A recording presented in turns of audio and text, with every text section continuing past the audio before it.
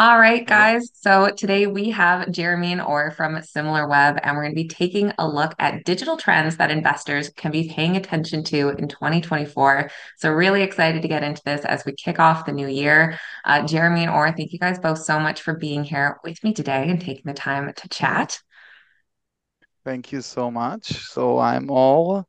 I'm the CEO of uh, SimilarWeb, and Jeremy is our lead uh, insight uh, um, person that's based in New York that work with the investor community. So he's the one crunching our data day and night to look and find out what is the next big thing happening in the investment world. Uh, so he is looking forward to share with you some nice insight. Yes, fantastic. And Jeremy, I was going to ask if we get a bit background there on exactly what SimilarWeb is and how it gives you guys access to these unique insights.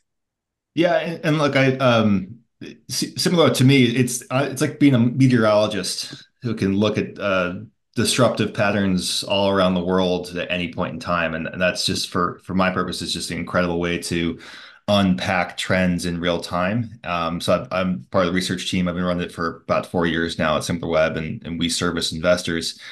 And you know, we have uh, hundreds of billion websites that we're tracking, millions of apps that we have on a daily basis um, and a collection of data that that enables us to unlock all these unique pieces of information from SaaS user seats to travel to the impact of AI.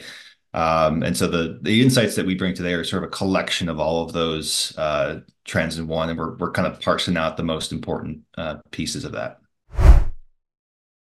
Right. So, and I can kick off with just some of the most important things that we're seeing, and there's probably no cleaner barometer if you're looking at a company like Booking or Airbnb or Expedia. There's there's no cleaner barometer on the health of the global consumer than travel and entertainment. And so we are aggregating 600 of the largest platforms into an index, and what we're seeing is ongoing pressure. Uh, it's occurring in nearly every region, and the most impacted that we're seeing are resorts and destinations and entertainment.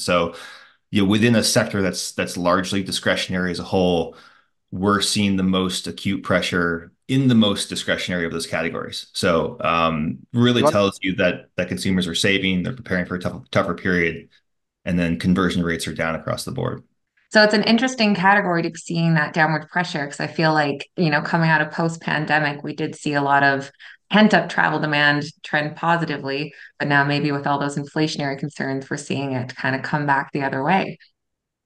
Yeah, exactly. And I think this is just a universal trend that we're seeing across the space. Travel is where it's the most acute. We did actually have an uptick uh, earlier in the year, so there was some hope that uh, things may have been recovering, but that has since uh, ceased. And I think part of that is just the the, the accumulated impact of inflation on uh, on that trend.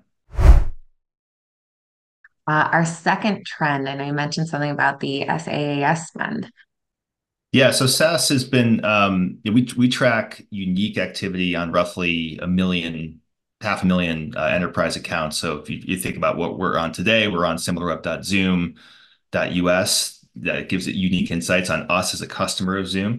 Um, we can do that for nearly every Zoom customer on the enterprise level. And what we have is a lot of the impact of the budget cuts, which really started in earnest about two years ago, ramped up last year, and they're continuing to take their toll on growth. So um, while the market has punished uh, more of the SMB oriented SaaS names like a like a HubSpot or a, a Fresh, what we're actually seeing is more pressure coming from the larger enterprise accounts. So um, this is really driven by seat contraction. So some of the uh, most negative impacts on Adobe or um, a CRM, those are starting to flow through, and we're we're continuing to see large enterprise pull back on uh, on their budgets for SaaS this year. Okay, so for those big ones, we're seeing a negative impact, but the smaller to medium sized businesses, is it a positive trend or just kind of neutral? It's it's neutral and, and stabilizing, which is actually surprising, um, okay. given that this is a tougher environment for for startups, tougher environment for SMBs. Um, yeah. But from perspective of uh, spend on platforms, it's actually stabilizing. I think it's just been we've had many many years or three years now uh, of contracted budgets on the SMB side, and maybe we're starting to hit a bottom. Moving on to our third trend, what do you have for us? Yeah, this is a uh, for Shopify, Amazon, uh, BigCommerce, and others. Uh, one of the structural trends that we've seen over the last five years has been this surge in D2C e-commerce, and it's really been powered by you know, first the pandemic helped to to egg that along, but um, just the in, investment in infrastructure and fulfillment from Shopify and others have really helped to drive that. Um, those trends have started to reverse course. You know, Shop has had some trouble with getting fulfillment up and running.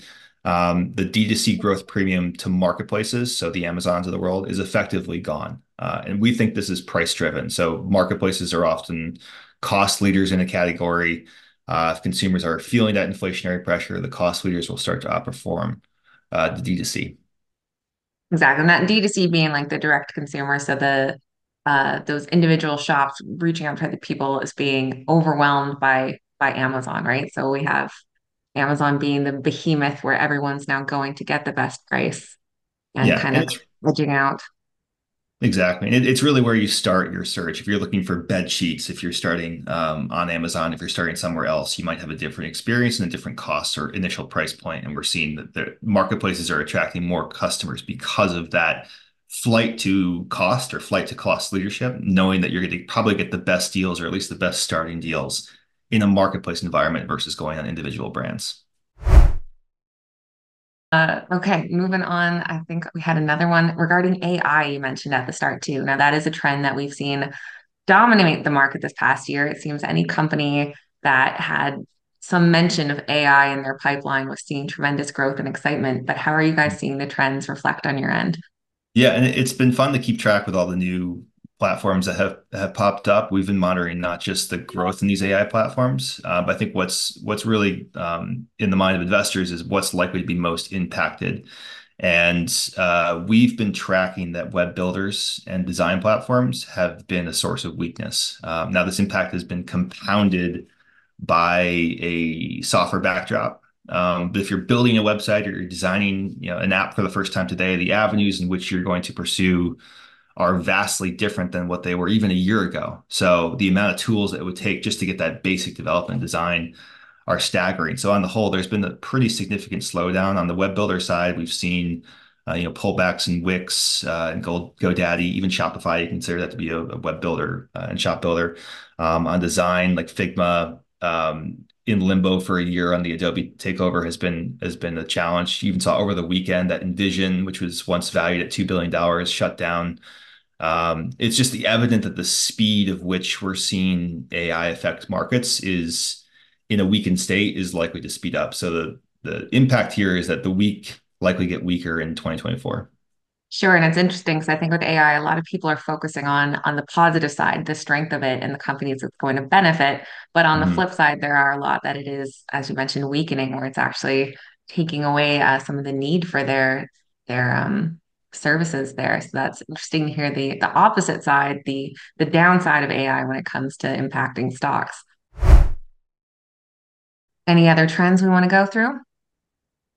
Well, look, I think since the since ChatGPT and uh, had their dev day, or OpenAI had their dev day, um, we've actually seen consolidation in general. So there was this uh, proliferation of all these different apps that popped up doing different things using OpenAI as the as the backdrop. And now with the Dev Day, which launched all these new applications that do those uh, certain specific things, we've seen consolidation towards general. So um, OpenAI behemoth, similar to the Amazon behemoth, just gets stronger and stronger. Yeah. Very interesting. Well, thank you guys so much for going through those top trends there, uh, giving the investors some different areas to look at with maybe a bit of a different lens than we typically see. So we really appreciate that unique insight.